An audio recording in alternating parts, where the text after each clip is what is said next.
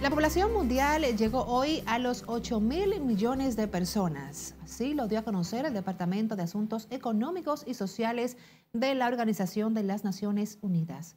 Perla Gómez se nos pone al tanto en el resumen internacional. El incremento en la expectativa de vida, los avances en la salud, la nutrición y la fertilidad sostenida son los principales responsables que la población mundial crezca mil millones en los últimos 12 años, llegando hoy a los 8 mil millones de personas, mientras que los mayores aportes son realizados por Asia y África. Sin embargo, India es el país de mayor crecimiento con una proyección para convertirse en la nación más poblada del mundo en el 2023. Un convoy de vehículos de la embajada estadounidense fue atacado a tiros por desconocidos en Puerto Príncipe, Haití. Durante el tiroteo, un chofer resultó levemente herido, mientras los miembros del cuerpo diplomático escaparon ilesos, informó la embajada. El convoy fue atacado en la zona de Crow de Boquex, situada en la entrada norte de la capital, donde opera el grupo armado 400 de Mawazo, ocho días después de que Estados Unidos ofertara un millón de recompensas por cada información que lleve a detener a tres haitianos sospechosos de secuestrar a los misioneros.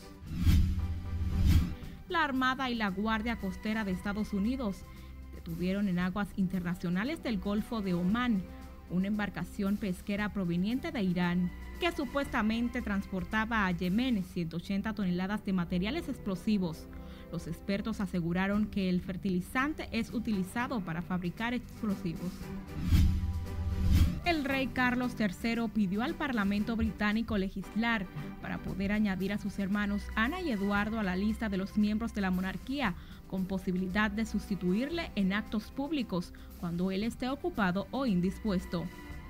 El proyecto Ley de Consejeros de Estado podría ser presentado por el gobierno este martes para incluir los potenciales sustitutos a la monarquía, además de los cuatro primeros herederos, Camila, la reina consorte, el príncipe Guillermo, heredero al trono, el príncipe Enrique, el príncipe Andrés y la princesa Beatriz.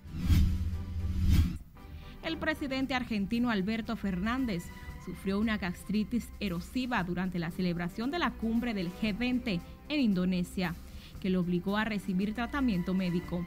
Sin embargo, ya se ha reintegrado a su actividad, tras lo cual sostuvo una reunión bilateral con su par chino Xi Jinping.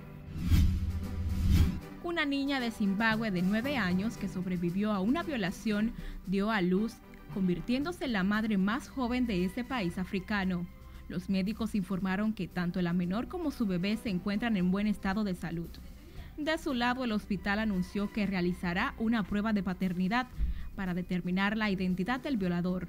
En las internacionales, Perla Gómez, RNN.